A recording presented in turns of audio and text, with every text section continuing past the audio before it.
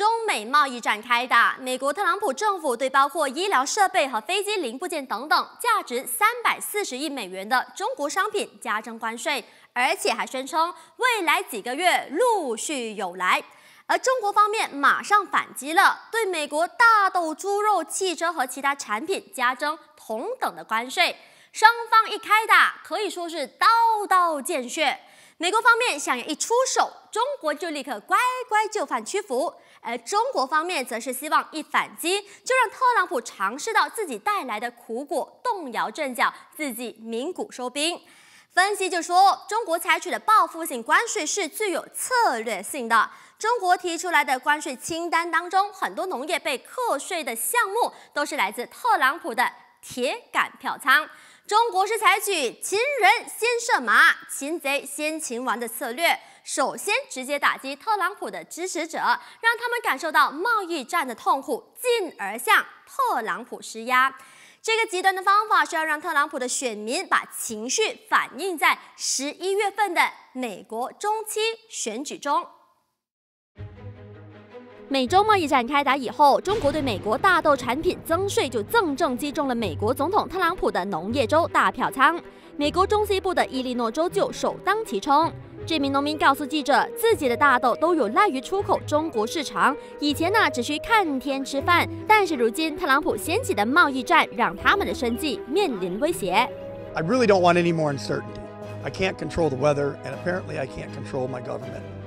I can't control the trade issues that they start. My worst fear is coming true with the tariff. 另外，也有美国交易所分析员担心，美国农产品的产量近年来大幅增长，因为中国加重关税而不能消化的产量，竟能流不出国际市场，导致农产品的价格一跌再跌，进一步将会引发一连串的连锁效应。It's difficult to say how long the damage is going to affect us. And the longer that it goes on, we're going to see a ripple effect of devastation. 一些美国分析认为，美国向全世界开货，如今未见其利，先受其害，已经引发了共和党大票仓美国中西部农民的不满。这场贸易战会不会影响两年后特朗普寻求总统蝉联的盛望呢？的确有待观察。从刚刚那位美国农民的倾诉，我们可以看到，中美贸易大战开打，第一批要中枪的都是特朗普的铁杆选民。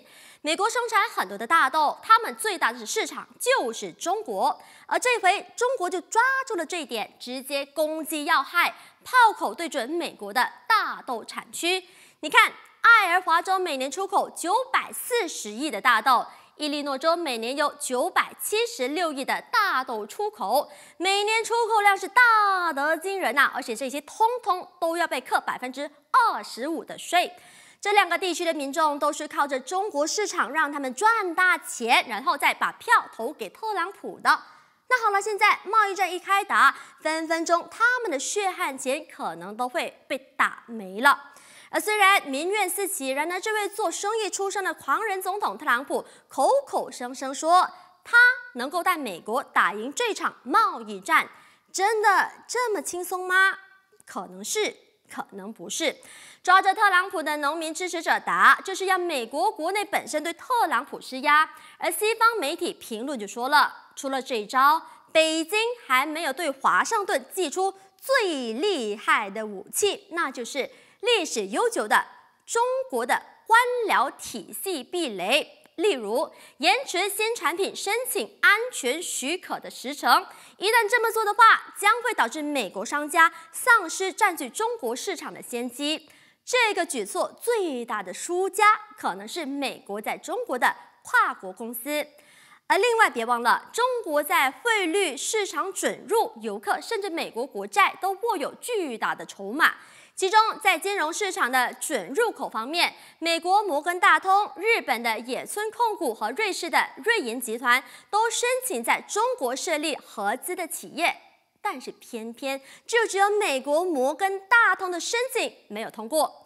那此外呢，中国驻美大使馆日前也已经发布了旅游警告，说美国治安不敬，枪击、抢劫、盗窃案件频频发生，抨击美国的旅游环境不好。这项举动就被诠释为向中国人发出旅游禁令。那中国学者甚至指出，如果贸易战严重升级的话，中国还可能会考虑出王牌，限制当下高科技产业都需要的稀土出口。而更严重升级版的话，预测中国将会大幅度的抛售手中握有的巨额美国国债。是的，中国手中握着大量的美国债券呐。分析就说了，中国还反击筹码，特朗普现在要借由贸易战、大美国至上来增加他的选票。接下来还会对五千亿美元的中国产品课税。如果情况去到最坏、最坏没有旋转的余地的话，一旦中国真的发飙，真的出动他们的杀手锏，以牙还牙。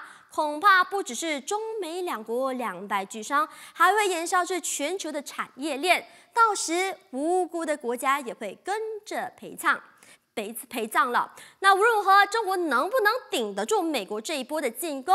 有报道说，最迟八月份就会知道了。为什么这么说呢？因为美国方面这场美中贸易战的后续发展会受到两个因素左右。首先，这是七月中的欧盟峰会上。欧盟国家对美国发起的单边贸易保护主义的态度，其次就是中国剑指美国农业州的关税反制，对美国总统特朗普在期中选举上能造成多少的政治压力？那如果这两个因素都不能产生作用的话，那么中国的这一仗将会打得非常辛苦。